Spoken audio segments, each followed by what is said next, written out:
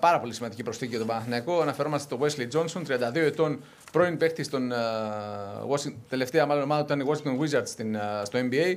Uh, 32 ετών όπως προείπα, uh, 2-1 ύψος, πάρα πολλές παραστάσεις. Νούμερο 6 του draft του 2010.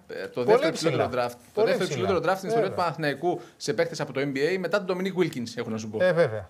Ε, Παναθηναϊκός πλήρωσε σχεδόν ένα εκατομμύριο ε, συμβόλαιο στον ε, συγκεκριμένο αθλητή ε, και φυσικά πλέον είναι ξεκάθαρο ότι με το ρόστερ που φτιάχνει, πέραν του φτιάχνει μια πολύ αθλητική ομάδα, φτιάχνει μια ομάδα που θα προσπαθήσει να πάει στο Final Four μετά από 7 χρόνια. Μάλιστα. Ευχαριστούμε πάρα πολύ ε, και τον Νίκο Κότση για την αθλητική